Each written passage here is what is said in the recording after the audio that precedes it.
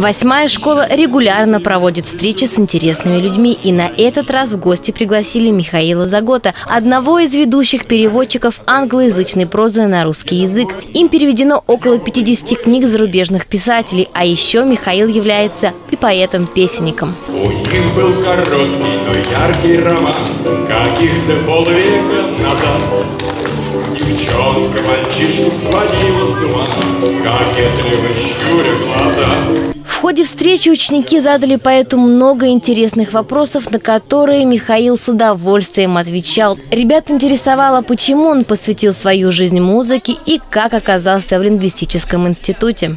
Вы знаете, на самом деле реже, чем, чем хотелось бы. В основном я встречаюсь с детьми на каких-то конкурсах, когда вот проходят детские конкурсы.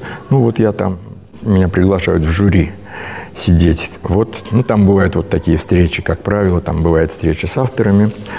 А, вот. а так, пожалуй, что вот таких визитов, ну, я их, наверное, по пальцам могу считать, и их не так много. Это меня вот э, пригласили э, вот Одинцовское, значит, музыкальное руководство, которое э, вот, имеет отношение к этой школе, вот они меня пригласили сюда. Я с удовольствием приехал, потому что на самом деле это, конечно, очень интересно общаться с детьми. Михаил за год исполнил свои авторские песни, а школьники по-настоящему растрогали поэта исполнением его известного хита про дедушка.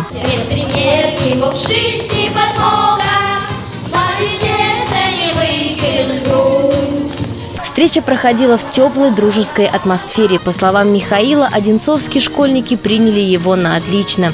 А ученики и педагоги признались, что с нетерпением будут ждать таких встреч снова. Дарья Сутягина, Леонид Бурдин, телекомпания «Одинцова».